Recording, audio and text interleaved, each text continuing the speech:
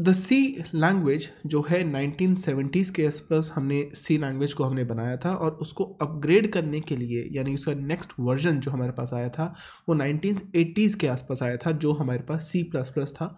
तो यानी कि आप कह सकते हो कि everything which is available in C language जो सभी चीज़ें सी लैंग्वेज के अंदर है, वो सभी चीज़ें अब वो सी प्लस प्लस में भी अवेलेबल है। तो यानी कि this C plus plus is a bigger set वो बिग ब, ब, बड़ा सेट है और सी लैंग्वेज जो है वो सब सेट है। लेकिन जब मैं जावा को हमने बनाया था जो जावा जो है it's not a super set Java जो है वो सुपर सेट नहीं है बट रेदर सी के कुछ ऐसे कॉन्सेप्ट है जो जिसके लिए हमने जावा में हमने इसको यूज़ किया है। उसके साथ साथ हमारे पास सी प्लस प्लस के बहुत सारे कॉन्सेप्ट है जो हमने जावा में हमने बनाया है और उसके साथ साथ जावा में हमने कुछ अलग अलग कॉन्सेप्ट को हमने यहाँ से क्रिएट किया है, यानी कि उसको बनाया गया है right so that is why we can say Java is a different language but I know some comparison कुछ कॉन्सेप्ट तो वहाँ पर यूज़ है, लेकिन यस उसके साथ साथ भी बहुत सारे अलग अलग कॉन्सेप्ट जो है, वो जावा में अवेलेबल है।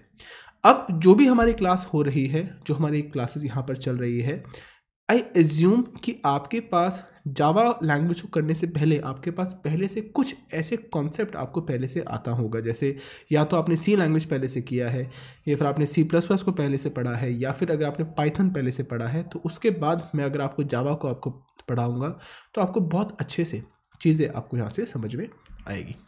So the huge difference between two kind of concept number one is structures यानी कि structured programming language and the second one is objects so जैसे सी लैंग्वेज जो है C language is a structured program यानी कि वहाँ पर हमारे पास कुछ प्रोग्राम्स होते हैं उसके साथ साथ कुछ फ़ंक्शंस हैं कुछ आ, कुछ फ़ंक्शंस हैं। उन फ़ंक्शंस को हम लोग यहाँ से यूज़ करते हैं। यानी कि आपके पास बहुत सारे मॉड्यूल्स आप बनाते हैं उसके साथ साथ हमारे पास कुछ फ़ंक्शंस भी यहाँ पर अवेलेबल है। So you know what is a class जो क्लास होता क्या है? Class is more like a mould. Mould आपने देखा होगा जब आपने कहीं पर आपने एक मूर्ति आपने कहीं पर देखी होगी राइट तो जब भी एक मूर्ति ना बनाते हैं तो उसके लिए एक मोल्ड होता है और उससे आप बहुत अलग अलग मूर्तियाँ सेम मूर्तियाँ हम लोग वहाँ से बना पाते हैं राइट सेम कॉन्सेप्ट जो है वो क्लास में भी काम करता है। क्लास में क्या होता है कि class it's kind of mould कि जिसके बेसिस पर हम अलग अलग ऑब्जेक्ट्स को हम लोग यहाँ से बना सकते हैं, जैसे if you know car car किस तरह की है?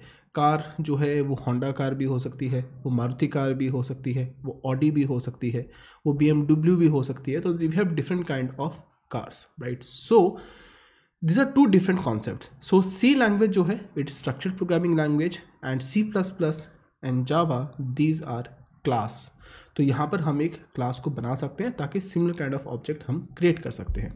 So how can you execute programs जब भी आप प्रोग्राम को एग्जीक्यूट करते हैं let suppose you have a C plus plus language जो हमारे पास है। जब भी आपके पास एक सी प्लस प्लस कोड है तो जब भी हम उसको एग्जीक्यूट करते हैं तो क्या क्या स्टेप्स हमारे पास आते हैं? सबसे पहला, हमारे पास एक सोर्स कोड है जो हम लोग बनाते हैं। उसके बाद हम उसको प्री प्रोसेसर के पास देते हैं।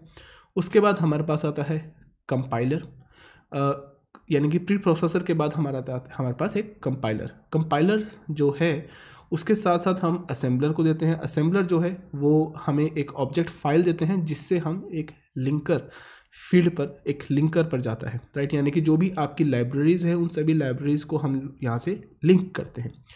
और लिंक करने के फाइनली आपके पास एग्जीक्यूटेबल फ़ाइल यहाँ से मिलती है। तो ये आपका पास कुछ स्टेप है, जो हम सी प्लस में यूज़ होता है। लेकिन अब जब भी मैं जावा को यूज़ करता हूँ तो whenever you have a Java file then you give it to a compiler आप इसको कंपाइलर पे देते हैं।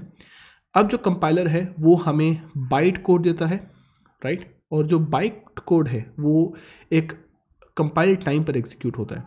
उसके बाद जो बाइट कोड है, वो हम उसको J I T compile compiler पे देते हैं। और जो जे कंपाइलर जो है, वो एक नेटिव कोड यहाँ से देता है। यानी कि जो इसका, जो कंप्लीट एग्जीक्यूशन साइकिल है, वो थोड़ा अलग है राइट सी प्लस प्लस की जो साइकिल है, वो अलग है और जावा की जो साइकिल है, वो दोनों अलग अलग है राइट अब अब तक आपने मेरी क्लासेस अगर आपने नहीं देखी है फिर not seen this complete execution cycle तो आप मेरी क्लासेस को भी यहाँ पर देख सकते हैं। यूट्यूब चैनल मैंने सब कुछ यहाँ से जो लैंग्वेज हमारे यूट्यूब चैनल पे आपने मेरे को सारी चीज़ें मैंने यहाँ से शेयर किया भी है। अब इसके फीचर्स पर मैं आपको बताता हूँ what the difference between Java and C plus plus abstraction, encapsulation, inheritance all of this things C plus plus और जावा में everything is same the only thing is कि आपके पास सी प्लस प्लस के अंदर हमारे पास मल्टीपल इनहेरिटेंस होती हैं, लेकिन जावा पे मल्टीपल इनहेरिटेंस नहीं होती। उसके बाद polymorphism static binding and dynamic binding everything is same but operator overloading जो है, वो सी प्लस प्लस में हम ऑपरेटर ओवरलोडिंग होती है, लेकिन जावा में नहीं होती। उसके बाद हेडर फाइल्स तो हेडर फाइल्स जो है, हम सी प्लस प्लस में हम हेडर फाइल्स यूज़ करते हैं, जैसे hash include S dot H but वही जो हेडर फाइल्स हैं, वो सेम जो हेडर फाइल्स है वो जावा में नहीं काम करते क्योंकि जावा में कुछ और हम कॉन्सेप्ट को यूज़ करते हैं। उसके साथ साथ पॉइंटर्स तो हम सी सी प्लस प्लस पे हम पॉइंटर्स पे काम कर सकते हैं। हम उसके एड्रेस को हम एज्यूम कर सकते हैं, बता सकते हैं क्या एड्रेस है। लेकिन जावा पे आप पॉइंटर्स को यूज़ नहीं करते। उसके अलावा ग्लोबल वेरिएबल्स तो ग्लोबल वेरिएबल जो है वो सी प्लस प्लस में होता है, लेकिन यही जो ग्लोबल वेरिएबल है वो जावा में नहीं होता। बट रेदर उसकी जगह पर हम ऑब्जेक्ट्स उसकी जगह पर हम क्लास को यूज़ करते हैं। उसके अलावा टेम्पलेट क्लास राइट तो टेम्पलेट क्लास जो है वो सी प्लस में होता है, लेकिन वो जावा में नहीं होता। उसके अलावा इंटरफेरेंस एंड पैकेजेस जो कॉन्सेप्ट है वो जावा पे है, लेकिन वो सी प्लस प्लस में नहीं है। ए तो सी प्लस प्लस में ए पी आईज नहीं है but rather some of this A P Is are also available in Java so that is why huge difference between C plus plus and Java ना some of this concept that you should know जो आपको पता होना चाहिए everything obviously there thirty जो thirty ऐसे comparison है, जो आपके बता सकता हूँ बट जो सबसे इंपॉर्टेंट है, जो इस समय पर मुझे आपको पता होना चाहिए, वो मैं आपको बताता हूँ। सबसे पहले C plus plus is platform dependent language C plus plus जो है, वो प्लेटफॉर्म डिपेंडेंट है, लेकिन जावा जो है, वो इंडिपेंडेंट है, यानी कि उस प्रोग्राम को आप कहीं पर भी एग्जीक्यूट कर सकते हो, चाहे वो लाइनक्स हो, चाहे वो विंडोज़ हो, चाहे वो मैक है, हर जगह पर एग्जीक्यूट कर सकते हैं।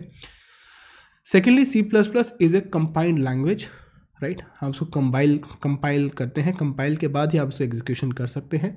लेकिन जावा जो है, वो इंटरप्रेटेड भी है और उसके साथ साथ कंपाइल्ड भी है। वो कंपाइल्ड लैंग्वेज भी है और इंटरप्रेटेड दोनों चीज़ें यहाँ पर अवेलेबल है।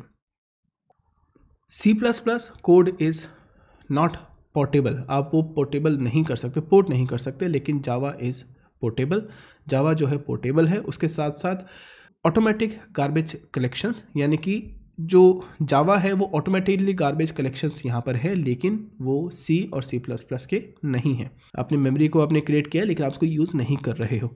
Right so everything taken by from you know automatic garbage collections from Java memory management जो है in C and C plus plus is manual लेकिन it is system controlled in Java in C plus plus it supports operator and method overloading but it does not support operator overloading in Java तो Java के अंदर operator overloading नहीं होती, लेकिन जो operator और method overloading जो है, वो सी प्लस प्लस में अवेलेबल है। In C plus plus in Java it supports only call by value तो जावा पे आपके पास कॉल बाय वैल्यू ही है okay so this are major concept I mean this is a total thirty ऐसे points हैं जो आप देख सकते हो कि what is the difference between C plus plus as well as what is the difference between Java okay now let us see about variables तो कौन कौन से वेरिएबल्स हैं जो जावा में अवेलेबल हैं?